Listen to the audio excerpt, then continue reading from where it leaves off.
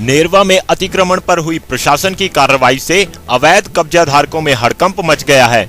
बाज़ार में अधिकांश लोगों ने सड़क की तरफ़ दुकान की छत बढ़ाई हुई है। इसके अलावा सड़क पर सामान सजाने से आने जाने में भी दिक्कत होती है। यही वजह है कि अतिक्रमण पर उच्च न्यायालय ने खुद संज्ञान लिया और प्रशासन को अवैध कब्जे हटाने के आदेश दिए।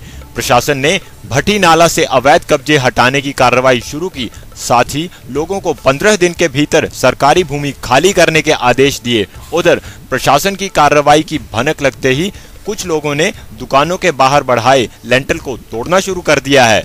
मैं assistant engineer H P department से। हम यहाँ मेज़रमेंट करवा रहे हैं, जो कि हमारे को हाई कोर्ट के बहुत ही सख्त निर्देश है कि भाई आप जो है अपनी एक्वायर्ड बिट्स पे किसी की एनक्रोचमेंट ना होने दें। तो उसी हिसाब से हम अभी, क्या कहते हैं नेरवा बाज़ार में जो है, ये अभियान हमने छेड़ा है। हमने इसके बारे में एसटीएम साहब को भी चिट्ठियाँ लिखी थी कि भाई हमें जल्दी से जल्दी इसकी बताया जाए कि हमारी एक्वायर्ड बिट कितनी है और कहाँ कहाँ हमारी जो है रोड है। तो उसी सिलसिले में अभी आप ये देख ही रहे हैं कि ये अभियान हमने छेड़ा है और इसको जल्दी से जल्दी हम नोटिस सर्व करेंगे इनको जिन जिनके भी नाम होंगे। तो फिर आपके सामने रहेगा, पंद्रह दिन का इनको हम अल्टीमेटम देंगे। अगर ये खुद निकालते हैं तो ठीक है अदरवाइज़ हम इसमें लीगल एक्शन लेंगे। दिव्य हिमाचल वेब टीवी के लिए नेरवा से सुरेश सूद की रिपोर्ट।